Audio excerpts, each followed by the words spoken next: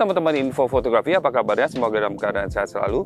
Saya Encacin dan saya sedang berada di Pulau Didung di Kepulauan Seribu bersama teman-teman dari info fotografi untuk menguji kamera yang saat baru dari Fujifilm, salah satu kamera flagship atau terbaiknya, yaitu Fujifilm X-H2. Di video ini kita akan lihat bagaimana kinerja kamera ini dan juga hasil fotonya tentunya. Nah makanya teman-teman nonton sampai habis, oke? Sip! Fujifilm X-H2 ini adalah kamera flagship atau profesionalnya Fujifilm. Fuji X-H2 yang bersensor APS-C ini bisa memotret sampai 40 megapiksel dan video sampai dengan 8K 30p dan 4K 60p. Build quality-nya kokoh, weather shield, dan fiturnya tergolong lengkap dan menurut saya canggih banget. X-H2 juga punya LCD putar, top LCD, banyak tombol-tombol yang bisa dikustomisasi sesuai dengan kebutuhan fotografernya. Dan juga ada dual memory card slot yang kita bisa isi dengan CF Express dan SD card. Yang saya kagumi dari X-H2 dibandingkan dengan kamera Fujifilm sebelumnya adalah sistem autofocus dan kinerja keseluruhannya. Sistem deteksi subjeknya mampu mengenali dan mengunci subjek yang letaknya sangat jauh dan sangat kecil dalam frame foto di kamera ini ada beberapa subjek yang sudah dapat dideteksi, antara lain hewan, burung, mobil, motor atau sepeda, pesawat terbang, kereta api, dan pastinya wajah dan mata manusia. Untuk subjek yang belum diprogram, kamera ini bisa mengenali bentuk-bentuk geometri yang sederhana. Secara umum, kecepatan sistem autofokusnya sangat baik, dan dapat mengenali subjek dan mengikuti pergerakannya.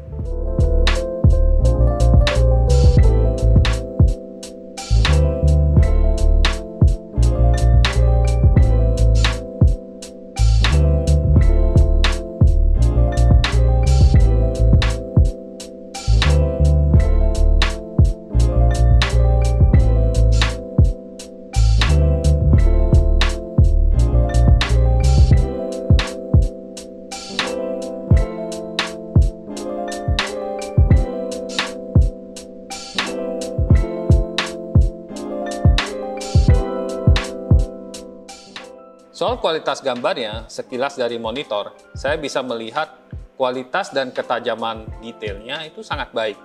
Built-in stabilization di kamera ini sangat membantu kestabilan ya, bukan hanya saat memotret, tapi saat membidik dan mengambil footage video.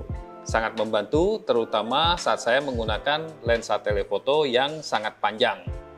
Ngomong-ngomong, jendela bidik di X-H2 ini juga sangat lega ya, sangat luas sekali detail, dan sangat responsif. Saya tidak perlu menunggu saat saya mendekatkan mata saya ke jendela bidik. Mas Erwin Mulyadi yang bersama saya ke Pulau Tidung juga sempat mencoba kamera ini. Yuk kita simak pengalamannya. Ya pengalaman saya menggunakan Fuji X-H2 ini di tempat ini di Pulau Tidung adalah pengalaman yang menyenangkan terutama karena saya juga di masa lalu kan biasa menggunakan kamera DSLR jadi waktu saya lihat kamera mirrorless masa kini, memang umumnya ukurannya agak lebih kecil dan tidak semuanya memiliki ergonomi yang pas, khususnya untuk tangan saya yang ukurannya agak besar ini.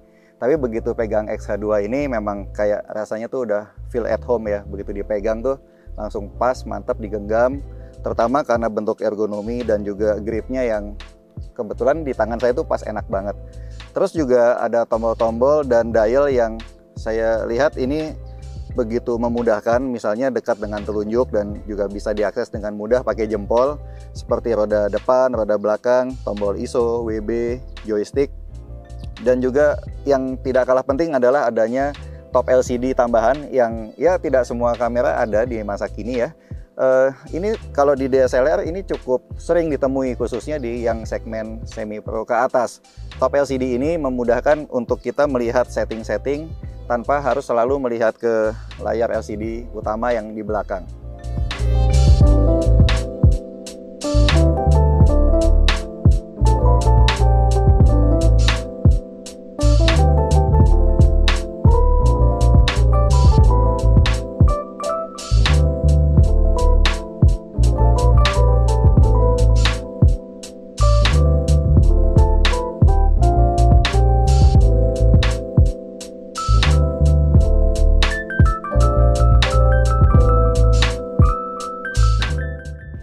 Semua lensa yang saya bawa, lensa 56mm f1,2 adalah yang paling spesial karena lensa ini diluncurkan bersama XH2.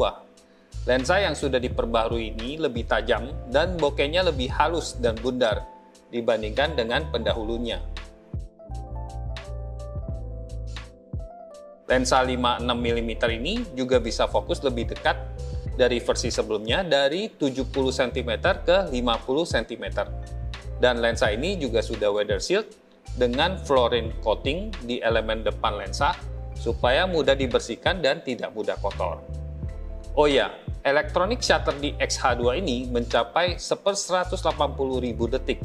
Mungkin yang tercepat saat ini dan jika dikombinasikan dengan lensa bukan besar seperti 56mm ini, sangat membantu saat memotret siluet di kondisi cahaya yang sangat terang.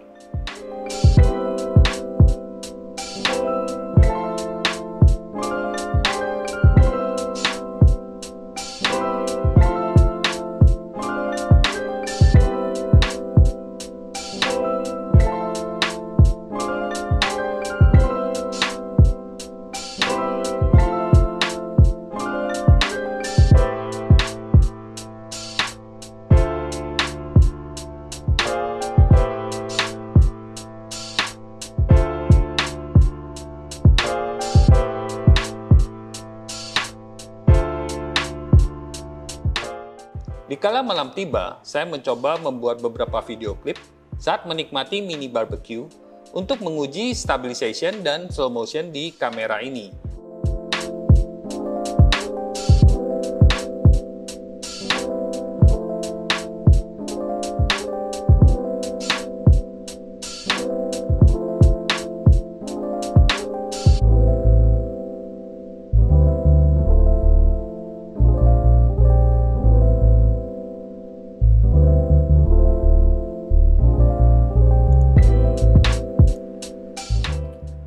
Teman-teman, saya sudah balik lagi di studio dan setelah saya periksa hasil fotonya, tentunya dalam format JPEG ya di Adobe Lightroom dan saya melihat hasilnya sangat detail sekali dan sangat cukup lah untuk cetak ukuran besar atau cropping.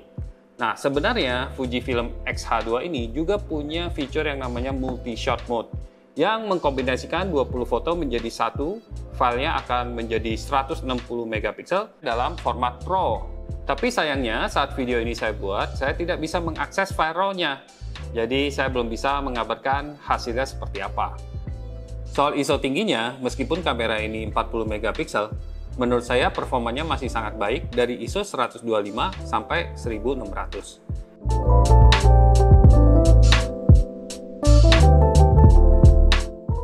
Hanya saja dari ISO 3200 sampai 6400, noise mulai jelas di bagian yang gelap.